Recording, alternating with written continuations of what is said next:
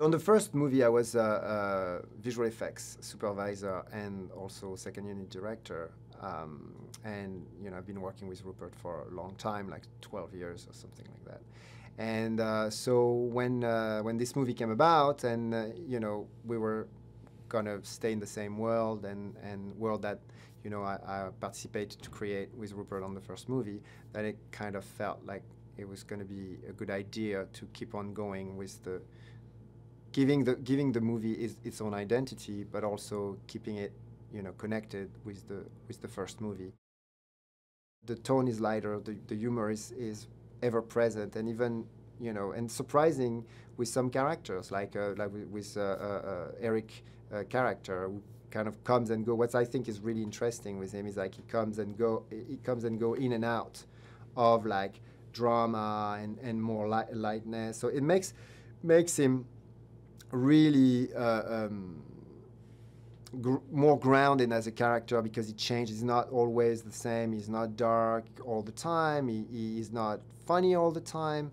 So it makes him like realist, realistic in a way and approachable in, a, in, a, in an endearing kind of way, which for the romance part of the movie and the love story part of the movie was essential.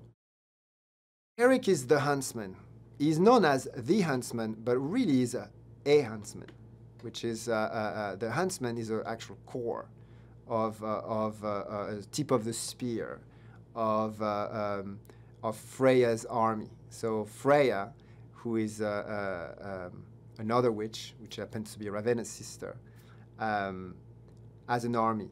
At the tip of this army, there is a, the elite corps of the huntsmen, called the huntsmen. Um, Eric is one of them.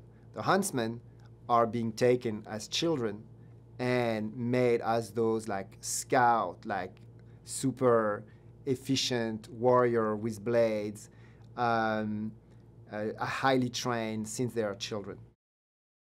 Sarah, who's played by uh, Jessica Chastain, is uh, Eric's wife, which happens to be also a huntsman. Uh, they were taken together as children and uh, ra raised and uh, uh, trained in Freya's castle. And that's where they met, and that's where they fell in love. And it was forbidden to fall in love, and they did it anyway, and they got punished for it. And then, you know, Sarah died, or so Eric thinks. Freya, who is played by Emily Blunt, um, is Ravenna's sister. Uh, she's the younger sister of Ravenna. She's the beta, where Ravenna is the alpha.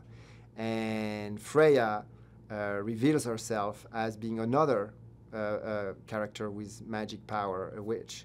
And uh, she has the power to conjure ice and illusions through ice.